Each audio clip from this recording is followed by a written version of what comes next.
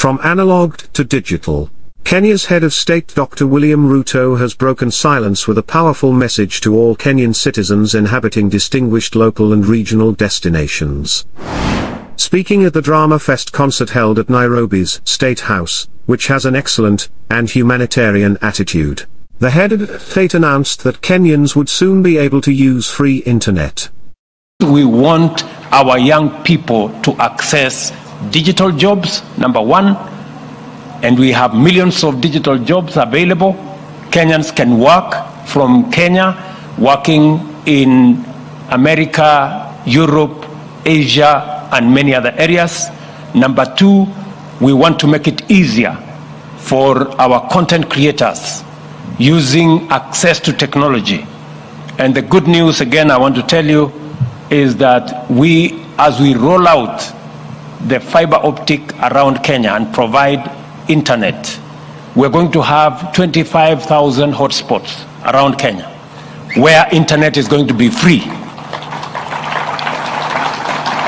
We are already, we have done the first 50. By 2025, the Ministry of ICT promises me that by 2025, end of 2025, we will have 25,000 free internet spots in the Republic of Kenya where people can work without having to pay. You can work online. You can create your content uh, online without having to pay. And we are working together towards monetizing the whole space around creatives. I know when I say monetizing, I know the tax man is also listening. You know, the, the, the tax fellows are listening. Whenever they see some people making money in some corner, they arrive. So uh, I know that there is a proposal in, the, in, in this year's budget on uh, digital content and creators are. This means that, like other developed countries, using a Wi-Fi won't be a big deal.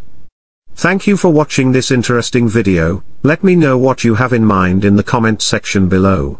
If you learned something, like this video and subscribe so that you can't miss videos like this in the future.